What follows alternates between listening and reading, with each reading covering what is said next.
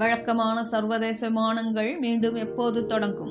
இது போன்ற செய்திகளை உடனுக்குடன் தெரிந்து கொள்ள நமது தமிழ் நிமிடன் யூடியூப் சேனலை சப்ஸ்கிரைப் செய்து கொண்டு பெல் பட்டனை அழுத்தி ஆள்னு போட்டு வச்சுக்கோங்க. இப்போ வாங்க வீடியோக்குள்ள போகலாம். வழக்கமான சர்வதேச விமானங்களை மீண்டும் எப்போது தொடங்க அனுமதிப்பது என்பது குறித்து இந்தியா நாளுக்கு நாள் முக்கிய பணியை மேற்கொண்டு வருகிறது.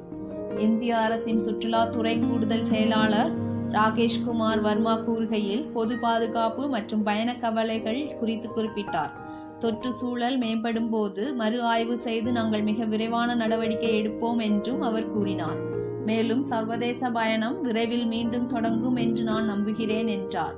ஒமிக்ரான் பாதிப்புகள் அதிகரித்து வருவதால் திட்டமிடப்பட்ட விமானங்களின் முழு சேவையையும் மீண்டும் தொடங்க அதிக காலம் ஆகலாம் என தெரிகிறது என்றும் அவர் கூறினார்.